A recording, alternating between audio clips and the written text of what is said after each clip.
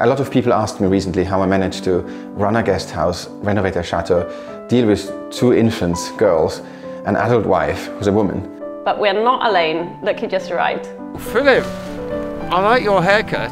Yeah, thank you. I think he might have already broken about three chainsaws. It's never too early to teach your children how to use a shredder. Ah, no.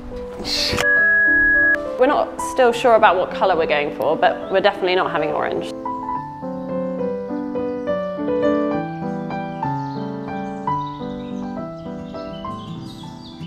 My name is Anna. I'm an English former fashion and textile designer.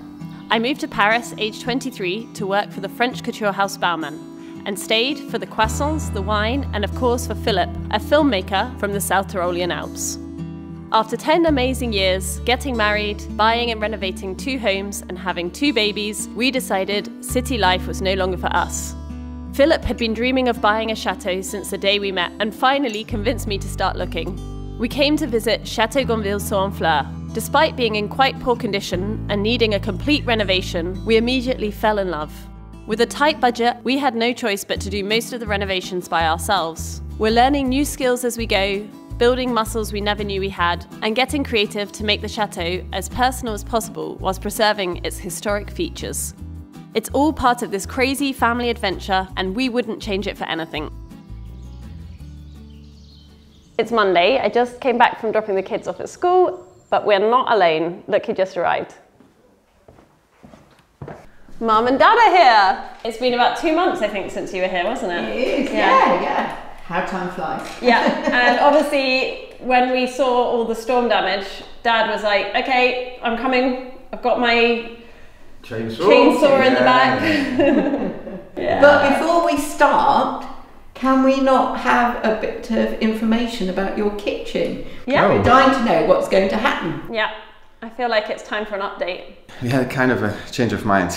And Anna, I must say the final idea for the kitchen is more what you wanted in the first place. So I was the one who compromised. The idea is now to keep as many of the original features as possible. For example, the doors that originally we thought, okay, they're not really practical, Yes. but actually, I love the fact that we have a symmetry either side of the mm, chimney, and that's where we're going to work, work with Benoit. And he's going to, he's got a special technique where he can replicate the same moldings, and so we can reproduce it and make the paneling and make the cupboards go up a little higher. Mm. We're still going to lift up this beam here mm. to about here Yeah. and, uh, and remove this wall. And then we are going to still have the piano, they call it in French. The, it's like the range cooker here in the middle. We're going to just move this door frame mm. slightly over so that will allow us to keep these doors, which we ah. like because it's the symmetry. Symmetry. Yeah. So here, behind here, we'll have it all fitted out and we'll have it as like a coffee tea station. So it can be closed away. I'm going to show you the drawing so you'll understand. Yeah, but no, Yeah, I think. I like Anna's description. She's doing a great job. Sorry for that. No, we like Anna. Here you have details, you know, you We're have doing- numbers, We're you have... the big. We're doing the big picture at the moment. Philip just wants you to admire his uh, art. Philip, I think it's designing skills. improving. It's Right, improving, right. definitely. Okay, so here we're going to remove this door, and I think what we can do is reuse it here probably for the broom cupboard. A cupboard which will be, you know, a, a full height cupboard on this side.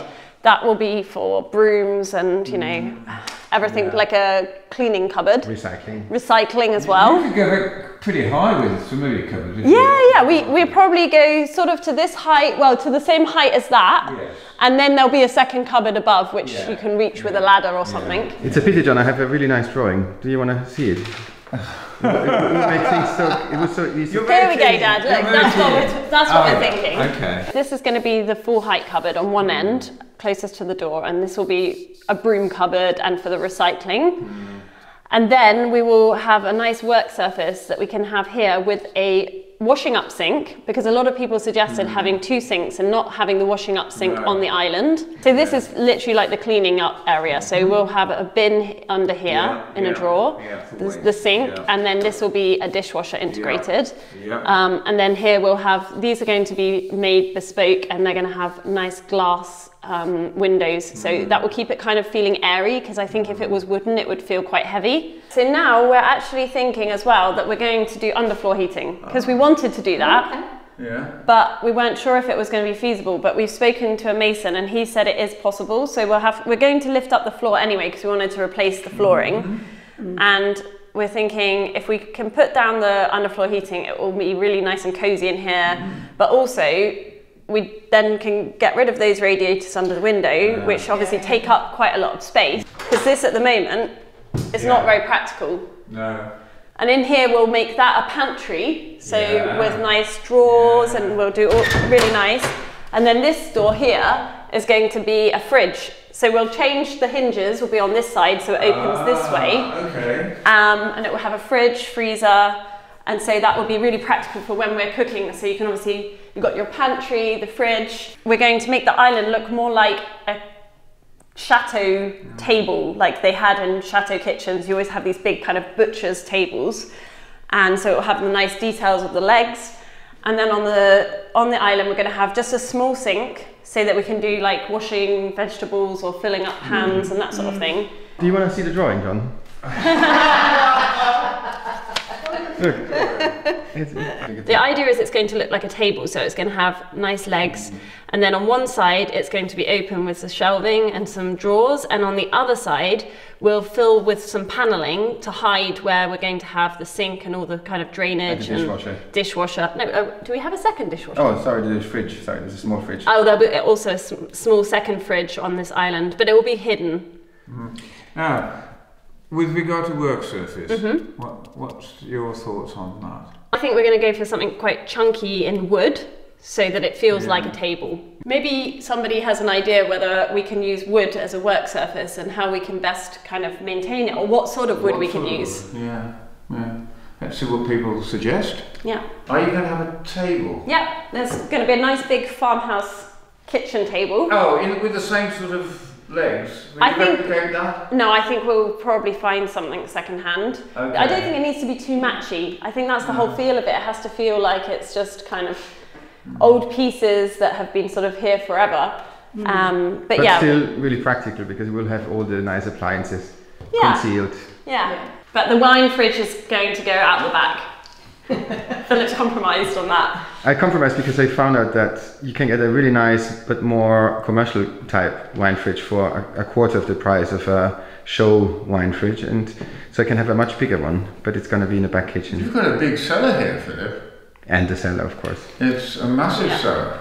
We're not still sure about what colour we're going for, but we're definitely not having orange, so that's that will be a relief to everybody. We haven't had that discussion yet, Anna. no, we still need to figure out colour.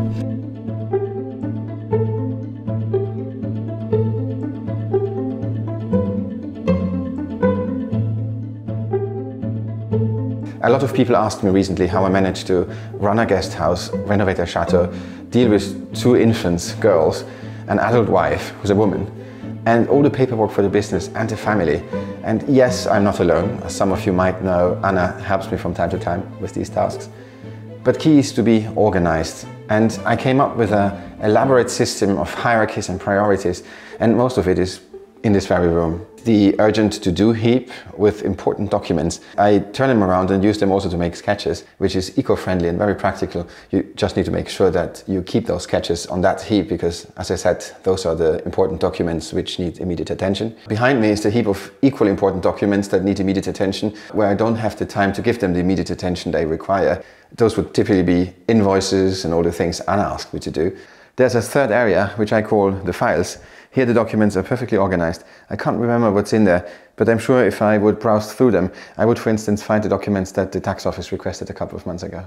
There's one last but crucial element in my system, and that's this here. I call it the archive. Most of these files are unnecessary, but whatever comes in here stays there for about seven months, because you never know. However, my life has changed, and now having to deal with this crazy amount of influencer deals, invites, awards, I think I could improve the system just a little bit. A couple of weeks ago, Anna started learning how to edit videos. She went on an online learning platform called Skillshare, and Skillshare happens to be the sponsor of this week's video. So I borrowed her computer, logged into her Skillshare account, Philip Superhusband 2000, which is the password for all her things, and tried to find a class for me. Now, Skillshare has an incredible amount of classes. You can learn how to draw, how to make patterns, all about photography, editing video, running a creative business or develop a brand. There's so many inspiring classes. And I did find something to help me. A class called Mastering Productivity by Thomas Frank. Thomas is this perfectly organized, straight to the point person, kind of the opposite of me, but I think that's why it was so helpful. I learned how to better use a calendar, create more efficient to-do lists, and very important, a new way of dealing with emails. That's where I really needed a new strategy. There's no advertising on Skillshare, so you can stay focused. And in a really short time, I learned how to improve my productivity. I don't know what your passion is, what skills you would like to learn, or what tasks you would like to get better at, but there is an exciting class for you on Skillshare. And because Skillshare is our partner this week, we have an exciting deal for you. You can have a full month's free trial instead of two weeks, and this for the first thousand of our subscribers to join. So make sure to click that link in the description, get inspired, get creative, and learn something new. Hey, you've got my computer. I've been looking for that for the last hour. Didn't you see the memo in the shared calendar? What shared calendar? Philip, 2 to 4, Skillshare time. Told you, so much potential for improvement in this family.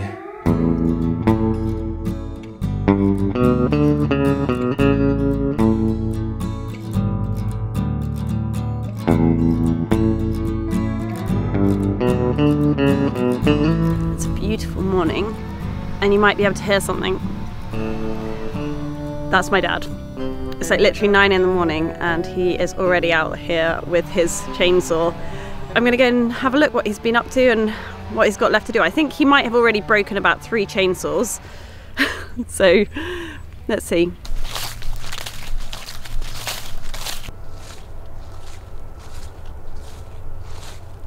Hey, Dad. I'm gonna come and get to you, but it's like you're surrounded by branches.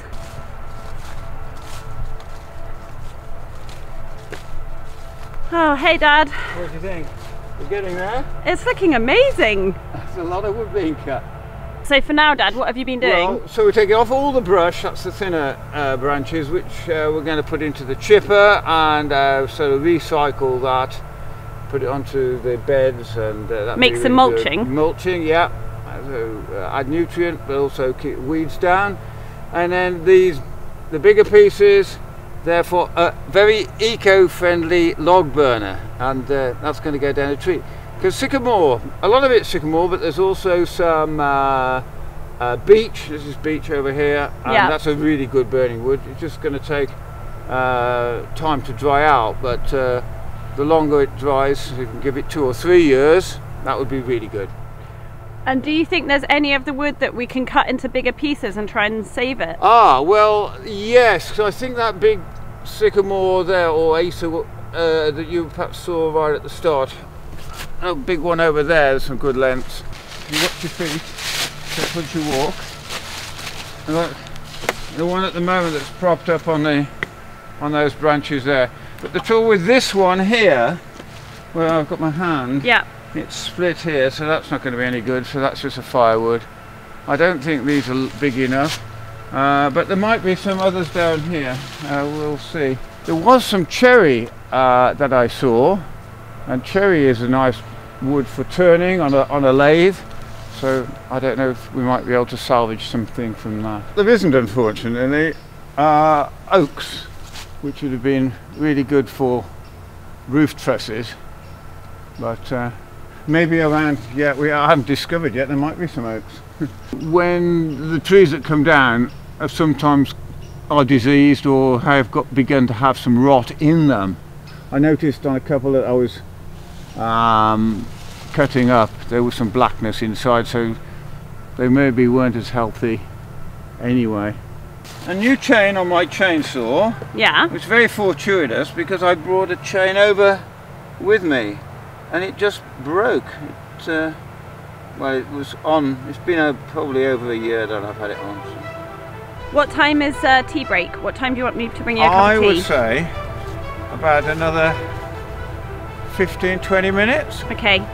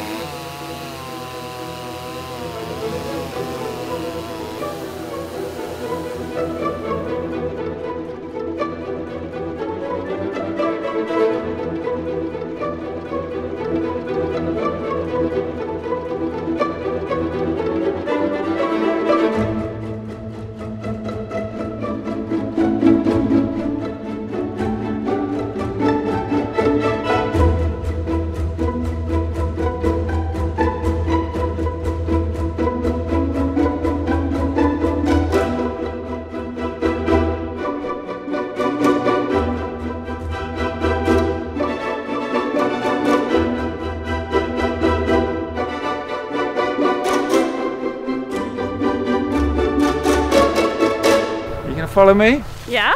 Come and follow me. What have you found? Look what we got here. Mistletoe. Mistletoe.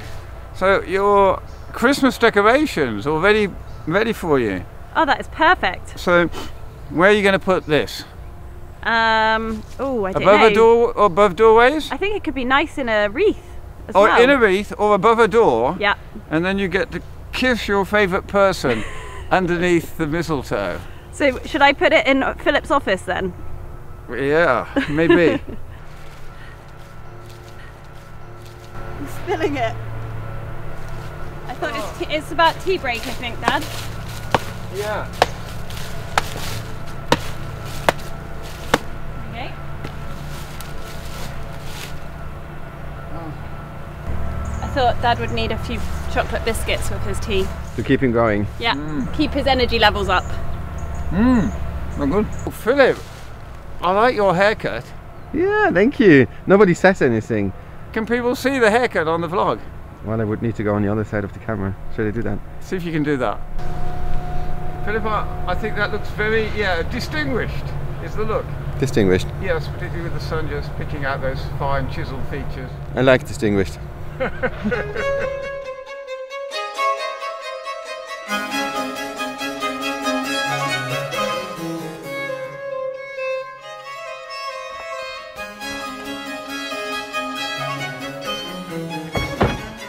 John, Anna's father, he's a real hero. For four days now, he's cutting down trees, the trees that came down with the storm a couple of weeks ago. I was busy doing very important influencer slash expert stuff, but he just keeps going and going and going. But there's one thing he can't do by himself, and that's shredding all the branches. And that's where we use one of my favorite machines, the Ferrari red one. I think you know it.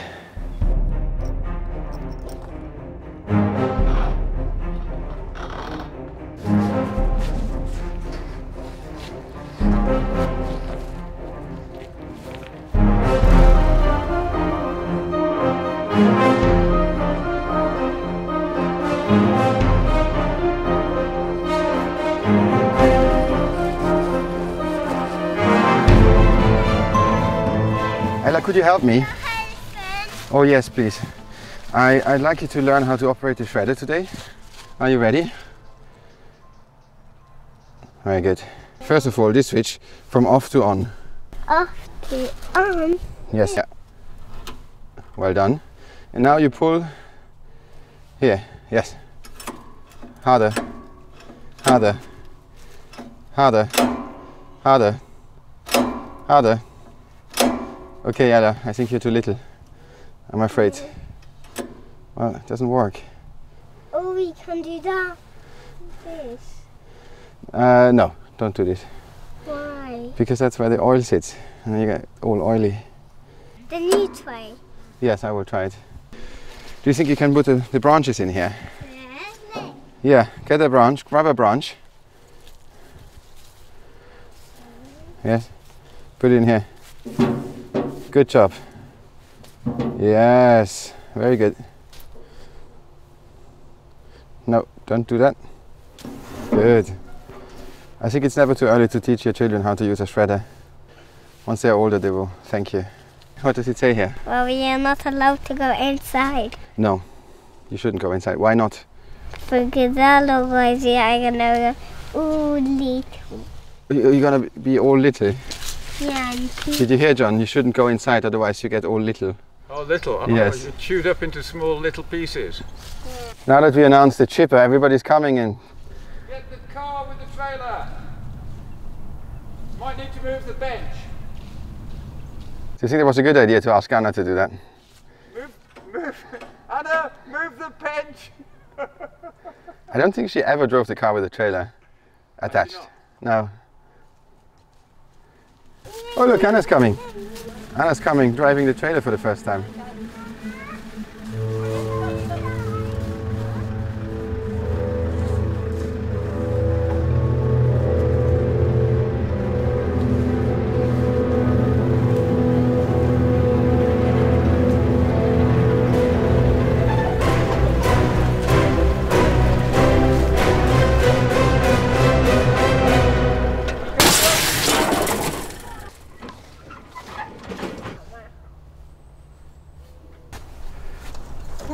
Let you do that, Philip. It's too heavy for me. Anna, you can do it. I need to film. Now, sw- now, swing Other way it. around. Yeah. There. How, how tight do we need to be? Very tight. Come back then to me. Come to me. To me, to you. Right, this way. Out of experience, it never worked the first time.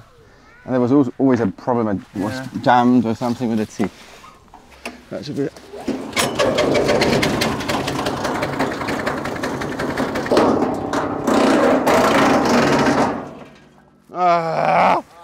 So I forgot to. What did you do? I forgot to turn it on. Pro- ah no, no. F- Sorry, Ah, I forgot to turn it on properly. Oh no. Ah. Not enough power, and of course it's jammed again. Oh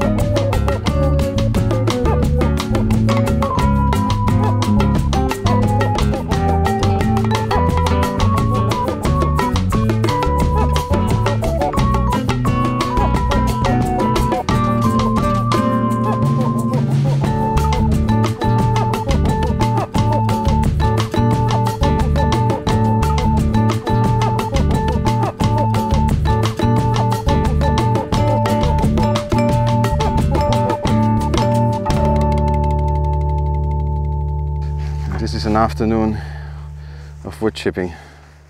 John still doesn't stop. We are far from finished, but you can see we made, I think, a lot of progress.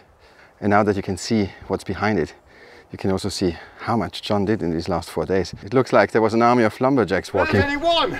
but there was only one, uh, one John. His back is really hurting. Yeah, I'm not surprised. Not Look at this, John, it's crazy. I know. And even Jenny, look, Jenny's helping as well. Jenny, Amazing teamwork. in the backwoods. Hi Jenny! Look at this. It's good. All this, John did it these last four days.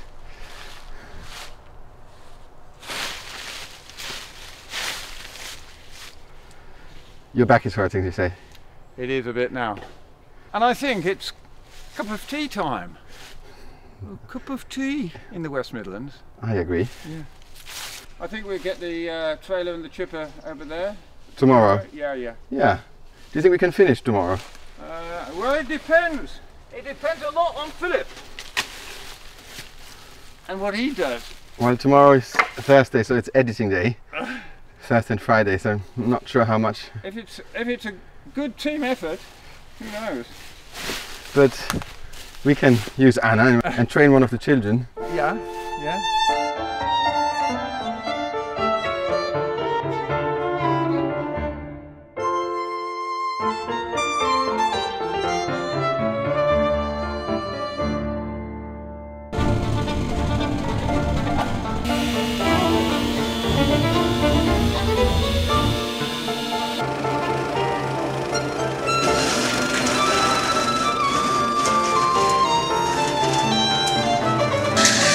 What's left. All of these logs that need clearing afterwards. But they're almost finished with all the brush. There's only that little bit left over there. It's looking great. A bit of clearing. Yeah.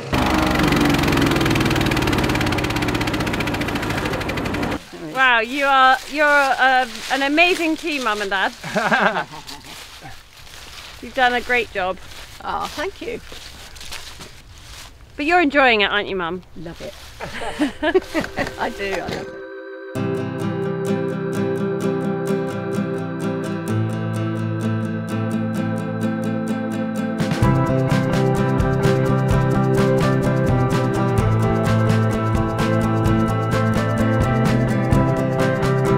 If you enjoyed this episode, don't forget to subscribe and hit the like button.